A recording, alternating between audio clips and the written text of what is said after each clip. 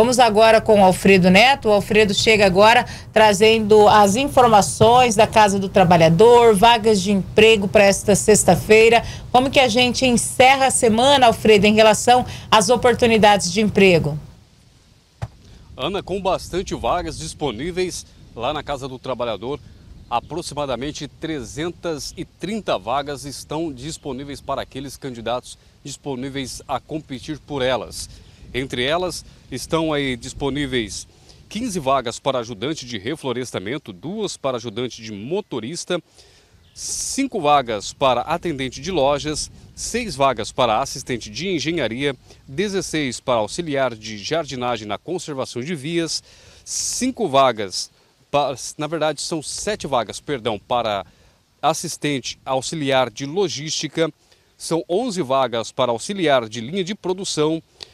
nove vagas para camareira de hotel, para campeiro na agropecuária, uma vaga,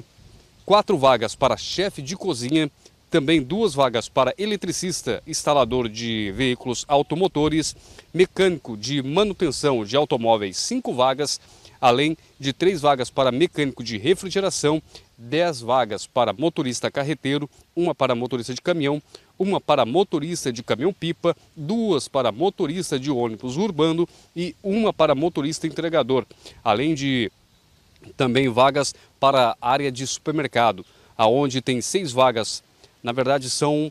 12 vagas para operador de caixa e também uma vaga para operador de empilhadeira. Vagas essas que estarão disponíveis no site RCN67JP News. E é claro, para aqueles que pretendem ir até a Casa do Trabalhador, o horário de atendimento é das 7 às 17, não fecha para almoço, fica na rua Doutor Munir Tomé, na área central de Três Lagoas, próximo ao Shopping Popular. Ana.